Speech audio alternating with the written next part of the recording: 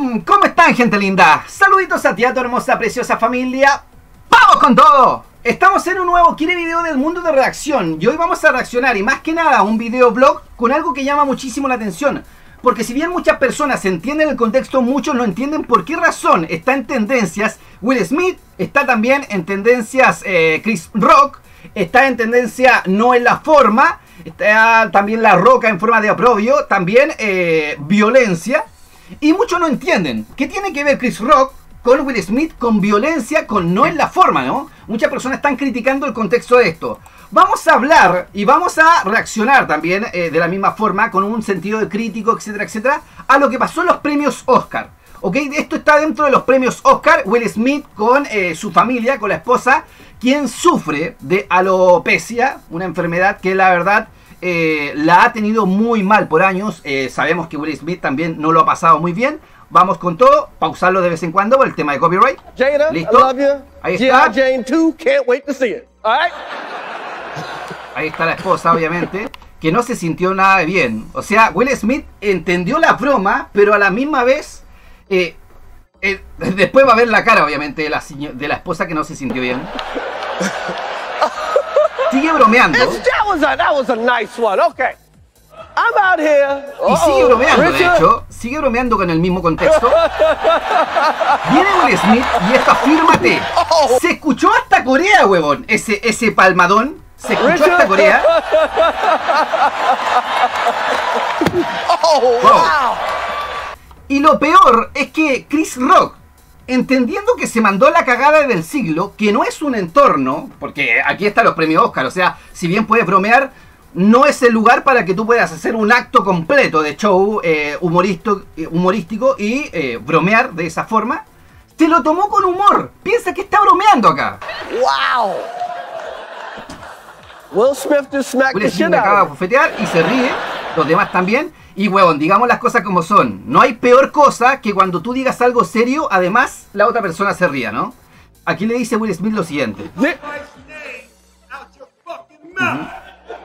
Mantén el nombre de mi esposa fuera de tu puta bo- boca. Wow, dude. It was a G.I. Jane jump. keep my wife's name out your fucking mouth. I'm going to. Y ahí recién entendió, dice, lo haré, ok. Ya estaba descolocado, no sabía lo que, lo que pasó. Trata de reír de forma, digamos las huevas como son, imbécil. Y ojo, yo no me, per- no me considero niño de la generación de cristal. Aquí en mi canal hacemos muchos videos de humor, muchas veces humor negro, etcétera. Pero hay que entender cómo es el contexto, porque no es lo mismo que yo vaya a ver un humorista o reaccionar a un video de humor a que eh, esté sentado en un restaurante y de la nada me den ganas de bromear a la señora que está ahí. ¿no? No es lo mismo. O sea, hay que entender eh, el espacio en donde estás.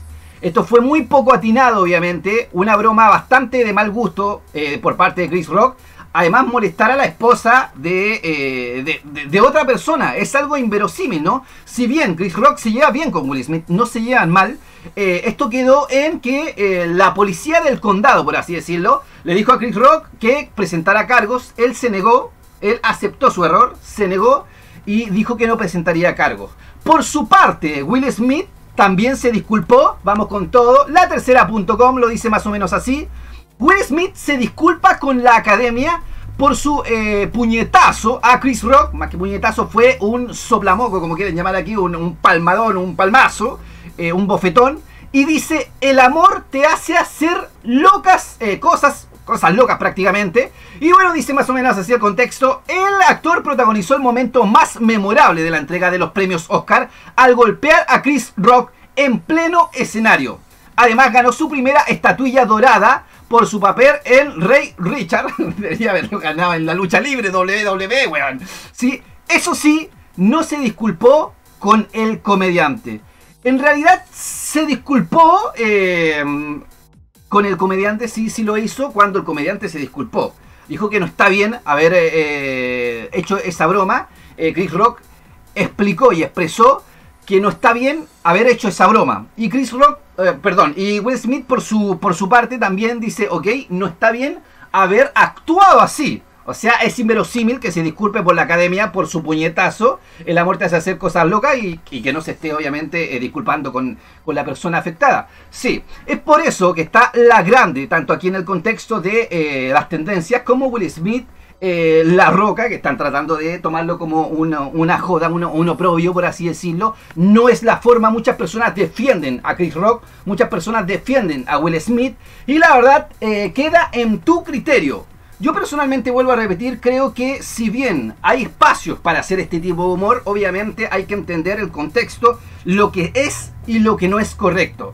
Vuelvo a repetir, no es lo mismo estar reaccionando o bromeando en un entorno en que tú estás eh, jugando, no sé, eh, carreteando, festejando con los amigos, pasándola bien, a un entorno en el cual viene un amigo tuyo y de la nada empieza a bromear, a molestar a tu esposa o a tu pareja. Creo que el respeto está por eh, sobre todo. Y si yo hago mucho humor negro, mucho humor sarcástico en mi canal, etcétera, etcétera, también tengo que entender que hay personas que no, no lo aceptan. Y hay que aceptar esas personas. La libertad de uno comienza cuando la del otro termina.